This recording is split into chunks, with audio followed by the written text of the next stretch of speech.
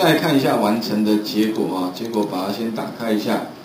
那打开之后，假如说哈啊，你希望一开启这些有档，它自动会，当然你可以设定呢自动启动这个表单。那这个表单实际上对应的就是后面的资料，也就是说你将来哦有一些需要计算，你可以在表单上面计算。计算完之后呢，它可以帮你把这个结果呢输入到后面的呃这个 Excel 的那个呃这个这个储存格里面哈。那你它会按照每一个对应的这个栏位哈，把资料放到你要的，比如这个地方有个借款金额、借款金额、借款年利率啊，然后借款的年限、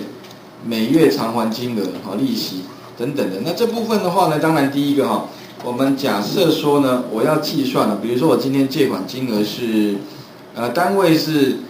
这个万元哦，所以我打一个一百万，OK，那利息的话两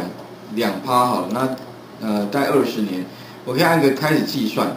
那计算之后的话呢，哈，各位可以看到每月偿还的利息就会算出来，呃，然后呢，总共借了这个二十年之后啊，总共。等于是说呢，哈，你要你这个一百万里面有这个一百万哈，你必须要多